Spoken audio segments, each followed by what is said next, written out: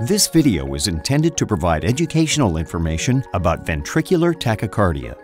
Please talk to your doctor to learn more about ventricular tachycardia and its treatment options.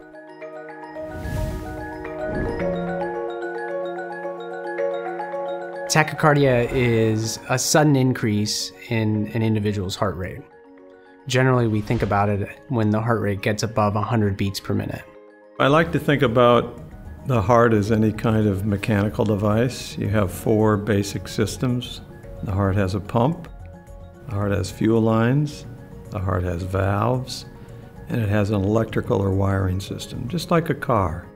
And just like any kind of mechanical device, you need a certain cadence and electrical activity to run at a smooth rate. Tachycardia is just a fancy way of saying the heart rate's going fast. Patients can have normal sinus tachycardia, where they're running to catch a bus, and their tachycardia, which is perfectly normal.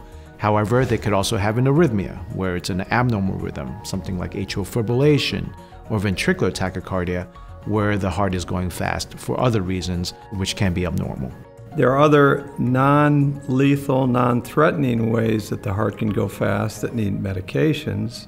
And then, of course, finally, there's dangerous reasons the heart goes fast or runs into tachycardia. And those are treated with certain medications and then device therapy. Some patients can have a tachycardia and be quite free of symptoms. However, those tachycardias, if they are prolonged, can cause important heart problems such as heart failure. More commonly, however, a patient will be aware of the tachycardia. They may feel a fast heartbeat that may cause dizziness, shortness of breath, or chest pain. And the more severe forms of tachycardia can result in severe dizziness or loss of consciousness, or indeed can cause sudden cardiac death.